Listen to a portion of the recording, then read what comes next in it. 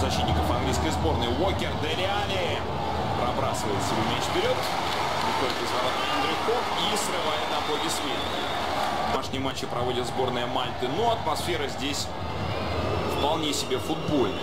И когда пусть даже травой отметки, подача. Мяч в сетке, но был свисток. Ок. Оказался на газоне.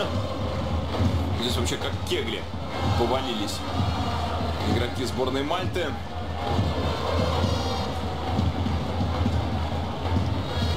Совершенно нет дальних ударов. Ух ты, какой опасный рикошет получается. Направляет мяч. Кейн отошел в глубину, делает передачу на Алекса Окслада Чемберлена. Мяч тот штрафной обработал. Удар! Поворот. Эпизод в первом тайме. Две компенсированные минуты Артуром Диашем истекли. И в матче был Андре Шембри, капитан команды, с правой ноги бьет Али, он уже в штрафной площади, Дели Али. Разворачивается пас, офсайда нет. Харри ну действительно, вот как по мановению волшебной палочки. Закончился август, наступил сентябрь, и тут же, буквально 1 числа, Харри Кейн забивает.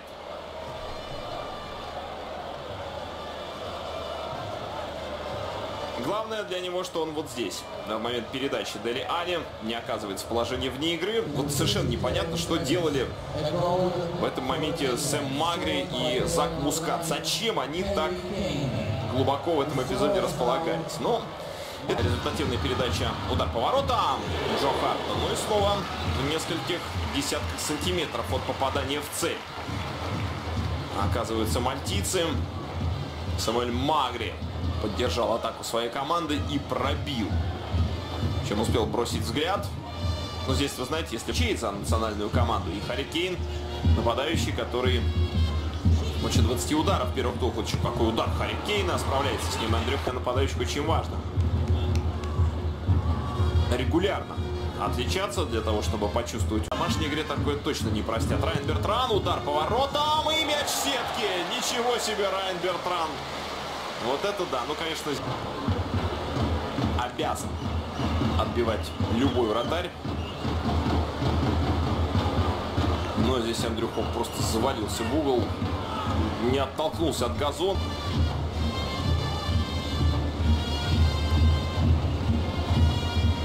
замен. Так что три минуты может, если захочет Кейн. Еще одна передача и мяч в сетке.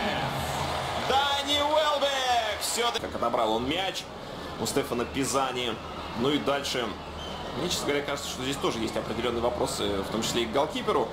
Потому что пошел на перехват Эндрю Хок, и он этим движением смутил Самуэля Магри, который мог просто играть до конца.